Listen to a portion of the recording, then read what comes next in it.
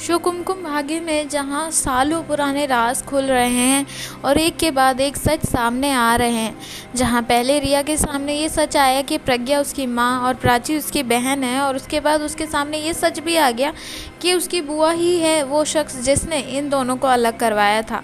जी हाँ उसके माता पिता को अलग कराने के पीछे और कोई नहीं, उसकी बुआ आलिया है, जिसके बाद अब रिया ने कर लिया है फैसला कि वो अपनी माँ को सच बताएगी और उनसे मिल के ही दिखाएगी। लेकिन आप जल्द ही आने वाले ट्रैक में देखने वाले हैं कि कैसे। अब आलिया खोलेगी 25 साल पुराना वो राज जो अब कहानी में लाएगा एक बड़ा तूफ़ान।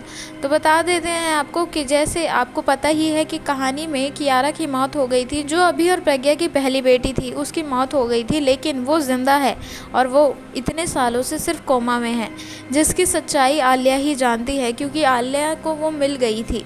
लेकिन अब कहानी में उसकी वापसी की खबरें हो रही हैं आउट तो बता दें कुछ सोर्सेज का कहना है कि आलिया अब अपने इस इक्के को सबके सामने लाएगी, जिसके लिए वो करेगी ब्लैकमेल सबसे पहले रिया को कि अगर तुम चाहती हो कि तुम्हारी माँ को उसकी पहली बेटी कियारा मिल जाए तो तुम्हें उससे ये सच छुपाना पड़ेगा और अपने बापा को भी ये सच नहीं बताना पड़ेगा। लेकिन अब देखना यह है कि क्या रिया होगी ब्लैकमेल और क्या बताएगी अपनी माँ प्रज्ञा को कियारा के ज़िंदा होने की सच्चाई। तो अब क्या होगा? शो में आगे इसकी अपडेट के साथ जल्द लौटेंगे हम। बने रहिए हमारे साथ और साथ ही साथ सब्सक्राइब ज़रूर कर लीजिए हमारा चैनल, टेलीटॉप।